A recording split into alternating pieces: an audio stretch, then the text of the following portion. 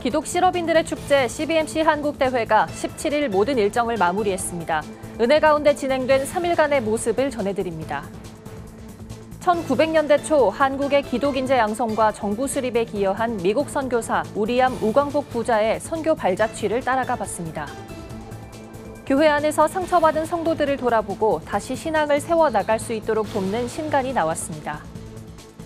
동성애 동성혼 합법화 반대 전국 교수연합이 포괄적 성교육 현황과 대응 방안 세미나를 열고 아동 대상 포괄적 성교육 실태에 대한 토론의 시간을 가졌습니다.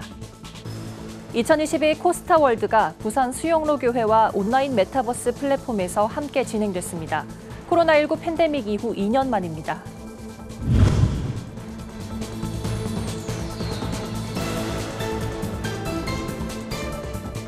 여러분 안녕하십니까? 구티비 뉴스입니다. 부산에서 열린 제48차 CBMC 한국대회가 17일 모든 일정을 마무리했습니다. 3일간 진행된 다양한 순서에서 참가자들은 일터 사역자로서의 사명을 되새기며 뜻깊은 시간을 가졌는데요. 한편 구티비도 대회에 참가해 CBMC 회원들과 미디어 선교 사역에 대한 비전을 공유했습니다. 뜨거운 다짐의 열기로 가득했던 대회 현장을 권현석 기자가 보도합니다. 지난 15일 부산 백스코에서 열린 제48차 CBMC 한국대회가 2박 3일의 일정을 마치고 성황리에 종료됐습니다. 첫날부터 많은 인파가 몰리면서 셋째 날까지 약 280개 지회와 2,300여 명의 회원들이 참석했습니다. 다양한 분야의 크리스천 실업인들이 함께한 만큼 다채로운 순서들이 이어졌습니다. 정치권을 대표해 더불어민주당 김회재 의원이 강의에 나서면서 포괄적 차별금지법에 대한 위험성과 이와 관련된 국회의 상황을 전했습니다. 김 의원은 차별금지법이 성경적 가치와 양성평등을 기초로 하는 국가 헌법에도 반하는 법이라며 법안이 통과될 경우 예상되는 악영향에 대해 지적했습니다. 손해배상을 최소한 500만 원 이상으로 해라. 이런 여러분 그럼 500만 원 내고 그 일 계속하면 되겠지. 천만의 말씀입니다. 소송이라고 하는 것은 개인이 누구나 할 수 있는 거기 때문에 100명이면 100명, 1000명이면 1000명 다 소송을 할 수가 있습니다. 그거 성경에 반한다.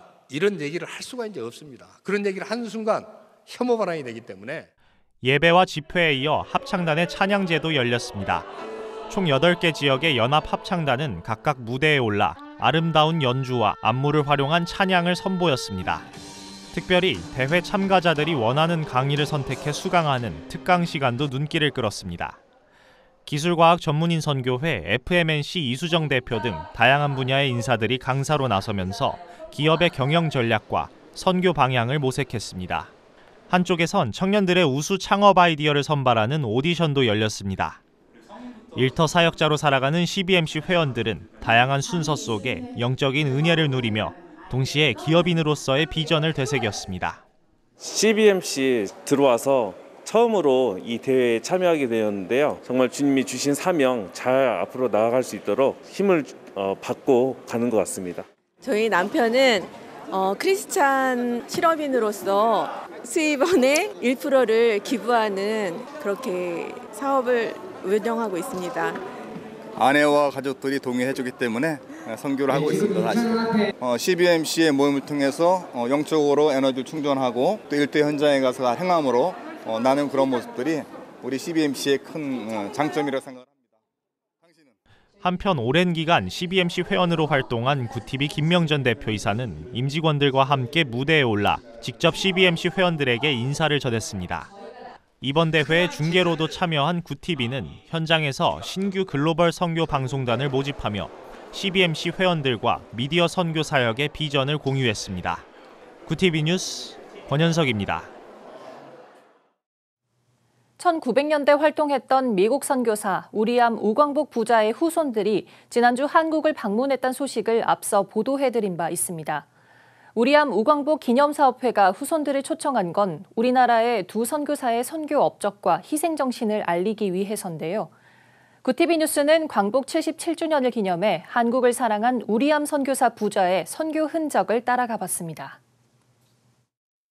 프랭크 윌리엄스 미국 덴버 대학교를 졸업한 23세 청년은 아내 앨리스 베이트와 함께 미국 북감리교의 파송을 받아 1906년 인천 제물포항에 도착합니다. 장티푸스로 사망한 로버트 샤프 선교사의 후임을 맡아 공주 선교부 책임자로 부임했습니다. 우리암이란 한국 이름을 가진 그는 1940년 일제의 강압으로 추방되기까지 34년간 충남 공주를 중심으로 선교 사역을 펼쳤습니다. 우리암 선교사의 한국 사랑은 남달랐습니다. 미국 이름보다 우리암으로 불리는 걸 좋아했으며 장남 조지 윌리엄스에게 조선의 광복을 염원하는 의미를 담아 우광복이란 이름을 지어줬습니다. 무엇보다 가장 힘썼던 건 명맥이 끊어진 공주의 기독교 학교를 재건해 나라를 구할 인재를 양성하는 일이었습니다. 서당 수준의 기초 학문을 에, 이렇게 에, 지역별로 이렇게 하던 그런 시대였고요. 근대 교육은 어, 샤프 선교사님과 사애리시 선교사님이 오셔서 만든 어, 명설 남학당, 명선 여학당이 최초였습니다. 제자들을 불러 모아서 합법적인 에, 인가를 받은 학교를 만든 것이 1906년 10월 15일 지금의 공주 영명 중고등학교가 만들어진 계기가 되겠습니다. 우리암 선교사가 설립한 영명학교는 충남 지역의 기독교 신앙과 신문화, 신교육을 전파했으며 17,000명 이상의 졸업생을 배출했습니다. 독립운동가 황인식, 조병옥 선생과 유건순 열사를 비롯해 최초의 여자 경찰서장인 노마리아, 최초의 여성 감리교 목사 전밀라가 대표적입니다.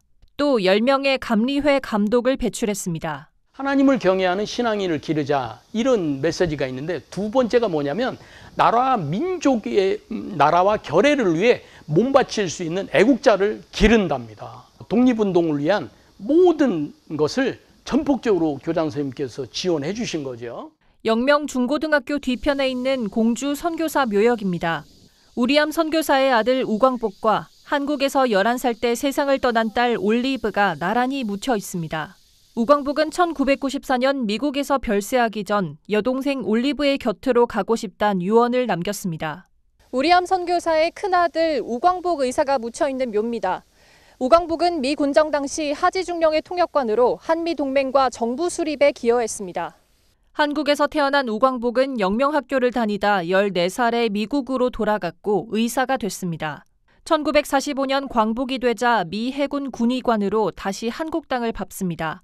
이후 하지 사령관의 비서실장격으로 미 군정과 함께할 한국 고위직 50명 가운데 35명의 기독교인을 추천했습니다. 한편 우리암 선교사는 1962년 79세의 나이로 미국에서 생을 마감했습니다. 우리암 선교사 가족의 사랑과 헌신은 오늘날 영적 축복을 누리고 있는 후손들에게 깊은 울림을 주고 있습니다. 충남 공주에서 구티비 뉴스 김민주입니다. 사람 관계나 신앙의 고민 등 여러 이유로 교회를 떠나고 싶단 생각 해본 적 있으신가요? 교회 안에서 상처받은 이들을 돌아보고 다시 신앙을 세울 수 있도록 돕는 신간이 나왔습니다. 장정훈 기자가 소개해드립니다.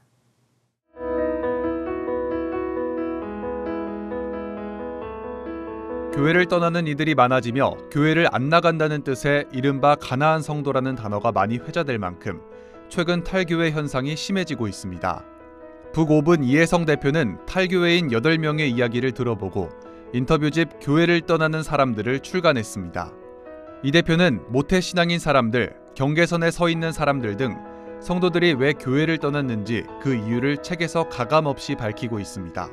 저자는 다만 책을 통해 한국 교회의 대안을 제시하는 것이 아니라며 이들을 섣불리 판단하기보다는 아픔에 공감하기를 바라는 마음에서 책을 펴냈다고 전했습니다. 교회를 떠날 정도로 큰 고난과 시련을 겪은 사람들은 하나님께 고통의 의미를 묻곤 합니다. 스티븐 테일러, 이강택, 정성국, 송영목 네 교수는 고난과 하나님의 선교라는 책을 통해 하나님의 선교라는 큰 틀에서 시련의 의미를 풀어냈습니다. 이들 교수는 성경의 내용을 바탕으로 당시 성도들의 모습을 사례로 제시하며 고난은 선교의 필수이며 이를 통해 십자가의 길로 나아갈 수 있다고 분석했습니다. 또한 저자들은 교회와 성도가 겪고 있는 고난을 넓은 시야로 바라보고 시련을 품을 수 있길 바란다고 입을 모았습니다. 종교사회학자 이성우 박사는 교회를 세우는 신앙을 찾아서라는 책을 발간하며 떠나가는 성도가 많은 교회를 향해 생활 신앙의 중요성을 강조하고 있습니다. 이 박사는 1949년 설립된 인천 강화군 봉천교회의 시작부터 현재까지를 살펴보며 신앙의 토대 위에 한화된 교회의 모습을 보여줍니다. 특히 목회자와 진행한 인터뷰, 봉천교회 성도들의 간증을 통해 삶과 신앙이 하나가 되는 생활 신앙의 의미를 설명했습니다. 또한 저자는 탈교회화가 진행되는 한국 교회에도 올바른 생활 신앙의 중요성을 강조하며 사회 속에서 건강하게 세워지는 미래 교회의 모습을 제시했습니다. 구티비 뉴스 장정훈입니다. 동성애 동성혼 합법화 반대 전국교수 연합이 주관한 포괄적 성교육 현황과 대응 방안 세미나가 16일 여의도 국회의원 회관에서 열렸습니다. 세미나를 주관한 조혜진 국회의원은 포괄적 성교육의 가장 큰 문제점은 교육 대상이 사리 분별력과 이해력을 갖춘 대학생이 아닌 유치원생, 초중학생 등 어린 아이들이란 점이라며 이 성교육은 판단력이 흐린 아동들을 대상으로 저지르는 그루밍과 다를 바 없다고 비판했습니다. 이날 세미나는 울산대학교 이재봉 교수가 유네스코 포괄적 성교육 비판을 한국가족보건협회 김지연 대표가 해외 포괄적 성교육 현황 등의 발제를 통해 포괄적 성교육 실태에 대해 토론했습니다. 2022 코스타 월드가 지난 15일부터 3일간 부산 수영로 교회와 온라인 메타버스에서 진행됐습니다. 뉴 노멀 시대의 그리스도인이란 주제로 열린 코스타 월드는 코로나19 팬데믹 이후 2년 만에 열렸으며 2천여 명의 청장년들이 참석했습니다. 대회엔 지구촌교회 최성은 목사, 선한목자교회 유기성 목사, 코스타 국제 이사장 이재훈 목사 등이 강사로 나서 메시지와 간증을 전했습니다. 한편 온 오프라인으로 진행된 코스타월드는 공간의 한계를 넘어 다양한 콘텐츠를 제공하며 말씀과 은혜를 경험하는 시간이 됐습니다. 오는 2023년 교단 설립 70주년을 맞는 한국 기독교 장로회 내부에서 영성과 교회 성장에 좀 더 관심을 가져야 한다는 자성의 목소리가 나왔습니다. 기장은 개인의 신앙과 영성보단 사회 구원에 집중해온 교단으로 한국교회 내 대표적 진보 교단으로 분류돼 왔습니다. 지난 16일 열린 제107회 총회 선거 후보자 공청회에서 후보자들은 기장은 1953년 출범 이후 도시 빈민, 인권, 통일 운동에 나서며 자랑스러운 역사를 가졌지만 교회를 세우고 성장 발전시키는 데는 미약했다고 꼬집었습니다. 총회장 후보 강연홍 목사는 기장이 교회 성장이나 부흥이란 측면에서 소홀했던 건 사실이라면서도 출범 당시부터 기장이 내건 신학이야말로 진정한 복음주의라고 주장했습니다. 전국 청년연합 바로 서다가 오는 20일 서울시청 앞 광장에서 자유문화 페스티벌 진짜 콘을 개최합니다. 전 청년은 포괄적 차별금지법 반대 활동을 하는 청년단체로 이번 행사를 통해 2030 세대가 원하는 진짜 자유가 무엇인지에 대한 의견을 들어볼 예정입니다.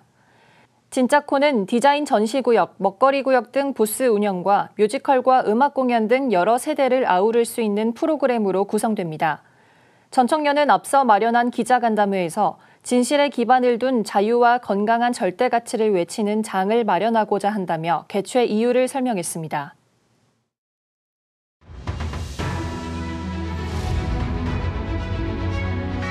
오늘의 이슈 포커스입니다.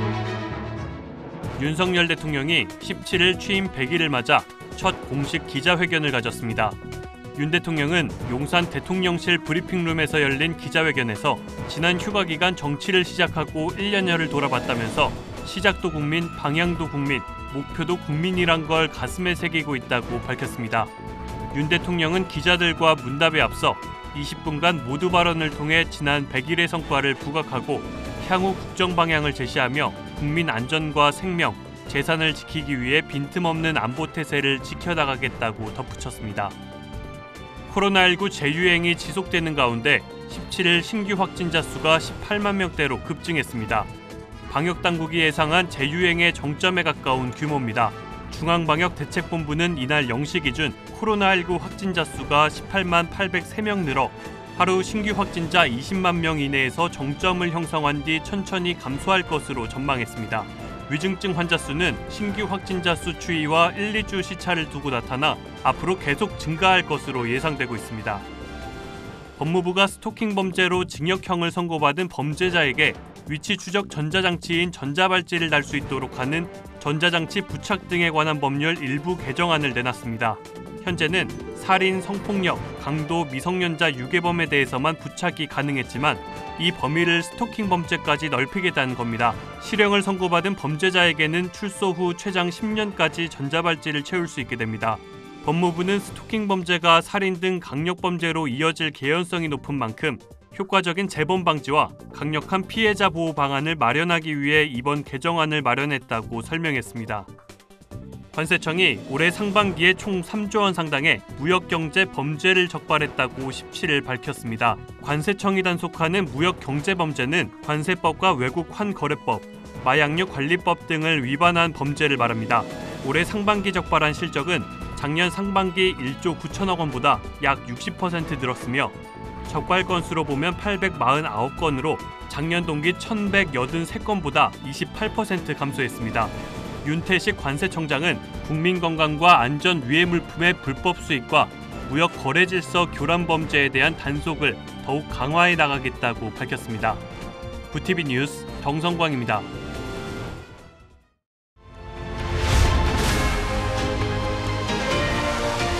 부티비 월드와이드입니다. 북한이 지난 15일 야스쿠니 신사에 일본 총리가 공물을 복납하고 참배한 것에 대해 거세게 비판했습니다. 북한 외무성은 16일 차혜경 일본 연구소 연구원 명의로 일본은 제2차 세계대전의 전범국으로 아직도 과거 청산을 회피하고 있는 유일한 나라라며 역사의 진실과 정의를 짓밟는 군국주의의 망령을 불러올 수 있도록 더 큰 국제적 고립과 파멸의 낭떠러지에 굴러떨어지게 될 뿐이라고 전했습니다. 야스쿠니 신사는 근대 일본이 일으킨 전쟁에서 숨진 이들을 떠받드는 곳으로 A급 전범 14명을 포함해 246만 6천여 명이 합사돼 있습니다. 미국 의원들의 대만 방문이 이어지고 있는 가운데 친강 미국 주재 중국 대사가 중국을 과소평가하지 말라며 강하게 비판했습니다. 친 대사는 중국은 수십 년에 걸쳐 미 의회의 대만 방문을 반대해 왔다며 의회는 미 외교 정책을 준수할 의무가 있고 그것이 우리가 마키 상원 의원의 대만 방문에 매우 실망하고 불만을 가지는 이유라고 언급했습니다. 이에 미국 정부는 의회의 독립적인 판단에 따르는 것으로 하나의 중국 정책에는 변함이 없다며 무력 시위를 펼치는 중국의 행동에 무책임하다고 비난했습니다. 유엔과 세계보건기구 WHO가 세계 원주민의 날을 맞아 전통을 보존하며 살고 있는 원주민들이 고유의 문화를 유지하고 차별 없이 살아갈 수 있도록 각국이 노력해야 한다고 촉구했습니다. WHO는 성명을 통해 세계 90개국 4억 7,600만 명의 원주민은 전 세계 인구 5%로 가장 가난한 사람들로 분류된 인구 가운데 15%의 비중을 차지한다며 유엔 선언 24조에 따라 원주민들이 전통 의술과 건강에 대한 관행을 유지하고 차별 없이 각국의 사회 및 의료 서비스에도 접근할 권리가 있다고 설명했습니다. 안토니우 구테우스 유엔 사무총장은 그들의 전통 지식은 우리들이 겪는 공통의 문제에 대해 해법을 제시해 줄 수 있으며 우리 모두를 위해 보존할 것을 촉구한다고 강조했습니다.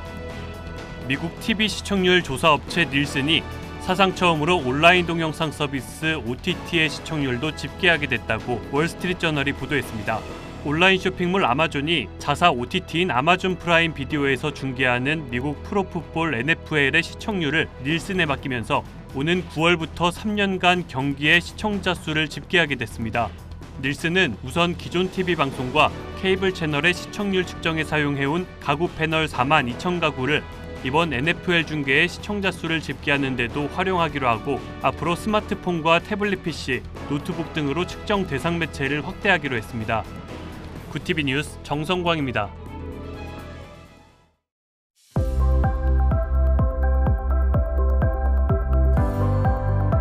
내일은 제주도를 제외한 전국이 대체로 맑겠습니다. 수도권은 내륙을 중심으로 최고 체감 온도가 31도 내외로 올라 덥겠습니다. 제주도는 밤사이 열대야가 나타나는 곳이 있겠습니다. 모레부턴 하늘이 다시 흐려지겠고 중부지방을 중심으로 다시 비가 올 전망입니다. 이어서 전국 날씨입니다. 내일 한낮 최고 기온은 서울 30도, 강릉 29도, 대전 31도가 예상됩니다. 남부지방은 부산 30도, 광주와 제주는 31도까지 오르겠습니다. 날씨였습니다. 국내 경제가 여러모로 어려운 때를 지나고 있습니다. CBMC 한국대회 개최로 기독 실업인들은 위기 속에서도 마음을 다잡고 일터 복음화를 다짐했습니다. 예수 그리스도의 이름으로 일어나 걸으라는 CBMC 대회 주제 말씀처럼 기독인들이 믿음의 삶으로 세상에 소망을 줄 수 있길 기원합니다. 이상으로 뉴스를 마칩니다. 오늘도 함께 해주신 여러분 고맙습니다.